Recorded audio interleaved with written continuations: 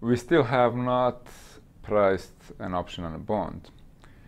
And we want to be able to do that at least in the classical models like Vasicek model.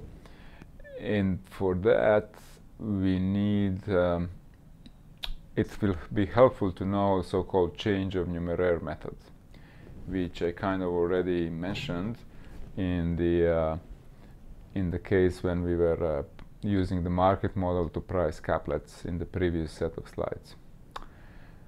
Well, what is uh, numeraire? Numeraire uh, refers to the asset that you are using to discount other assets with.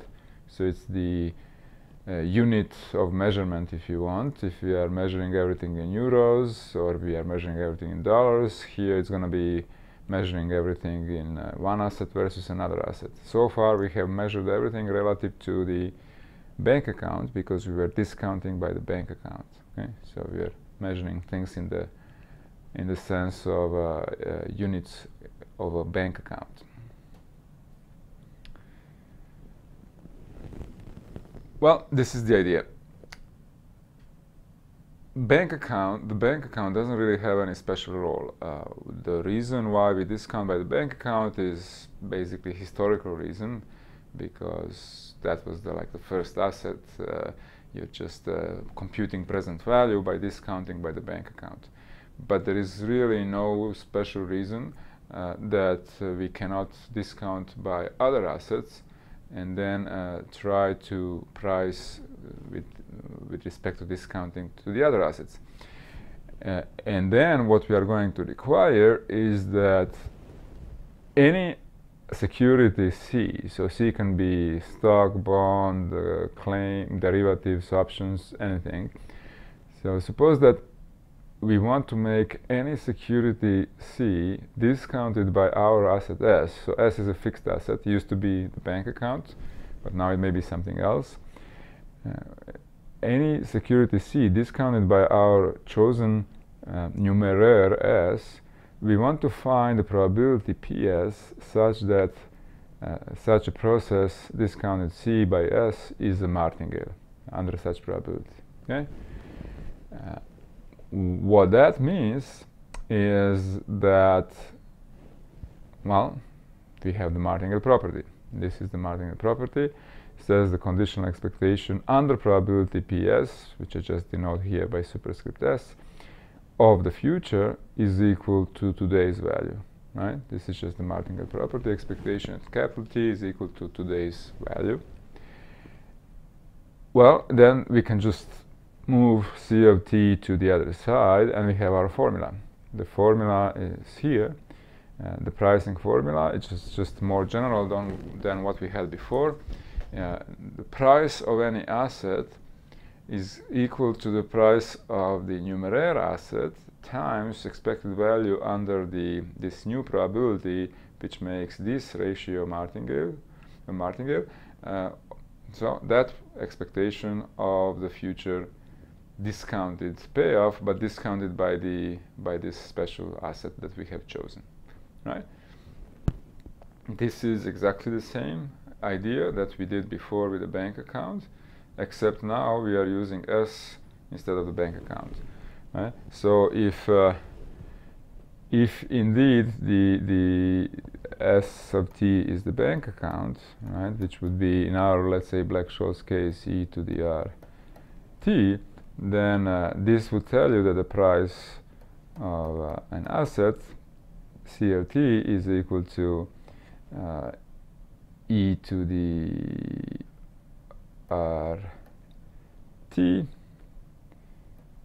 times expectation uh, under Q because when we use for S the bank account, that's our usual pricing probability Q of the discounted, so in this case e to the minus r capital T. Let me just get this right. Uh, C of t, which you can write as expectation tq of e to the minus r t minus t C of t, which is exactly our usual pricing, risk-neutral pricing formula, right? So what we are doing is just a special case of this uh, underlined uh, equation here in which we simply discount by S instead of discounting by bank account. Why can this be helpful? Well, sometimes it may be easier to compute this expectation under some other S than this expectation under Q. And we will see examples. And if there is an explicit formula for your payoff, for the price of your payoff, you, you should be able to find it using this method. This method will, will find uh, the explicit formula if it exists. If, if um, an explicit formula does not exist, then, well, this is not going to help you. You just have to do it numerically um, under some probability, either Q or S probability, but uh, uh, but if there is, uh, if there exists an explicit formula, this method will find it uh, probably most efficiently than any other method. Okay, let's see how to uh, use this. And in fact, I'm going to use it on the Black-Scholes on the Black-Scholes example for the call option. If you remember uh, in Black-Scholes, I really only showed you for the risk neutral pricing, I only showed you how to price, how to compute EQ here, EQ of uh, of the first part, which was just uh, of the second term actually, which was minus strike price discounted, so discount strike price, and then it was indicator function S of t being bigger than k. Right, and this was simply just uh, minus k uh, discounted q probability of S of t being bigger than k. And then that was relatively easy to compute the probability that S of t is bigger than k just by using a normal distribution. But I never showed you how to find the first term. And I told you, well, you can do integration. It's true, you can do integration. But actually, using this change of numeraire method, we can reduce also the first term computation uh, to something like this, to computing probabilities. And let's, let's see how to do that. All right, so I want to compute this this thing here. I want to compute. Oh, sorry. This is just repeating the um, formula from the previous slide. So we have it here. This is formula for pricing uh, using S as a discount factor. What I want to compute, I'll call it D of t, is the expectation, the price of S of capital T times the indicator function. The option is in the money the call option is in the money at the, at the end. Okay? This is the first term in the payoff of the call option, the one that I told you can be computed by integration, but I never really did it. I, and here I'm going to do it, but I'm not going to I'm not going to have to integrate. I'm going to use my change of numeraire method to compute it uh, more easily than uh, by integration. All right. Well, look, if I want to simplify this, it would be simplified if I can get rid of this S of t, the stock price here. Okay? This is what makes it harder because then I cannot take expected value of the indicator function. I have to take expected value of S of t times the indica indicator function. Well, I can get rid of it if I use S itself as the numeraire because then using this formula I will have to divide by s which will cancel this s. Okay? So let's let's uh, use that formula.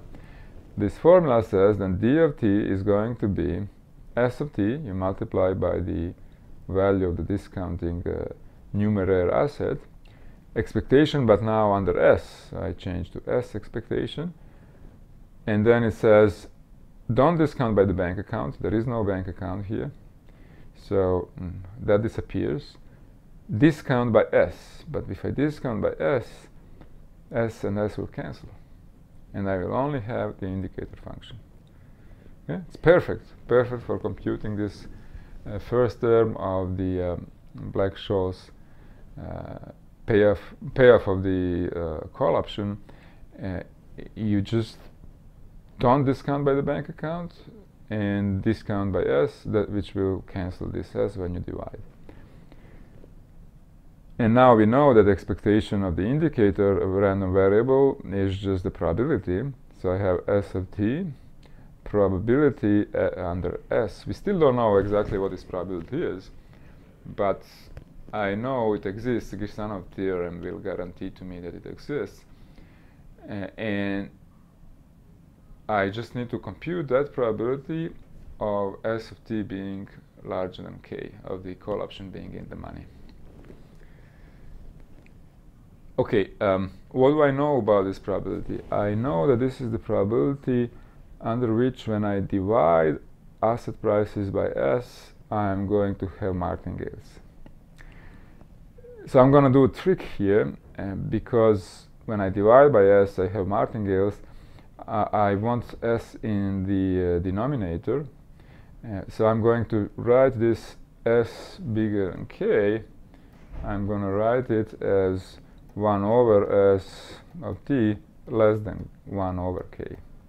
Okay, so this is what I do here. I do it as a probability 1 over s of t less than 1 over k.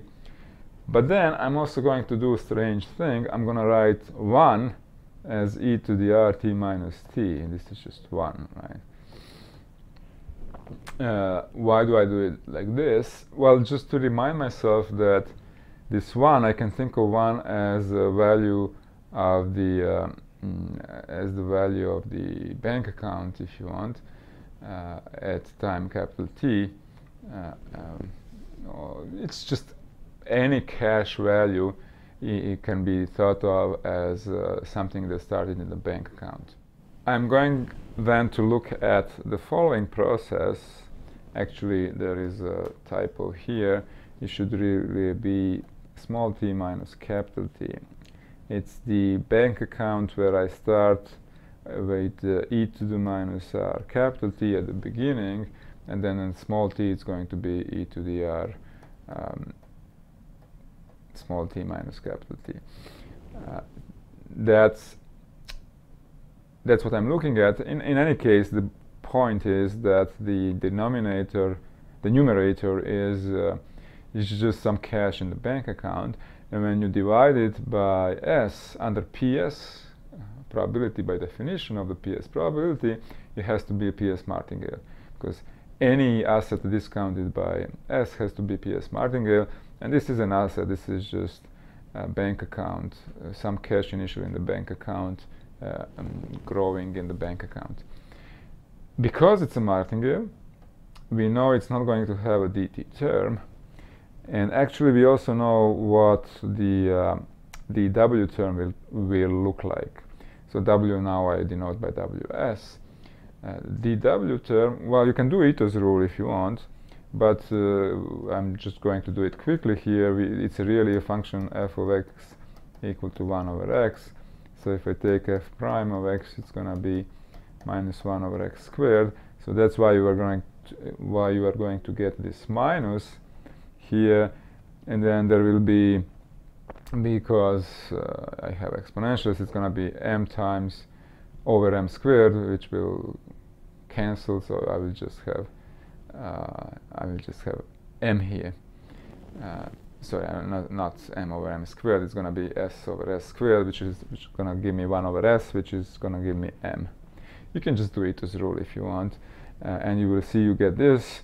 And the dt term you don't have to worry about, you know it has to be zero by the definition of Ws. Okay, when we change these probabilities using Girsanov, uh, you can always do with the drift whatever you want, it's going to become zero, uh, but the volatility doesn't change. So the volatility doesn't matter which W you put is always the same, and you can get it from Ito's rule.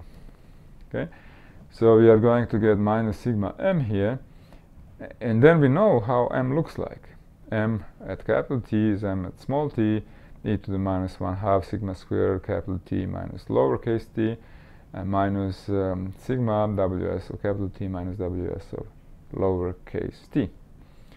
Once I know that, I can uh, put it here on the left hand side in my probability, and I can now just compute the probability that m of t is less than 1 over k, where this thing has a normal distribution with a variance capital T minus lowercase t.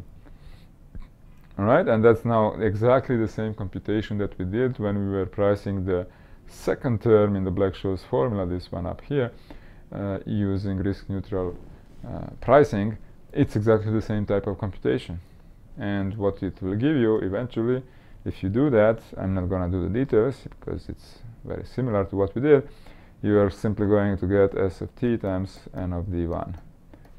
Okay, you will get the first term in the Black-Scholes formula. All right?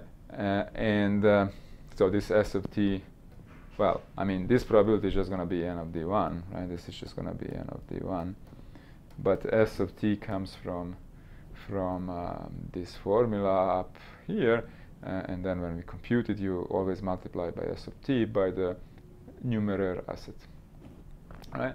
So you can get using this idea of uh, choosing s as the numerator rather than the bank account as the numerator, uh, you can get the first term in the Black-Scholes formula without any any integration. Right? So we are effectively solving a differential partial differential equation without any integration just by probabilistic methods because we know it's equal to expected value and then we use this trick of changing the numerator to compute that expected value as a probability and then we, it just reduces to computing probabilities uh, uh, of a normally distributed random variable.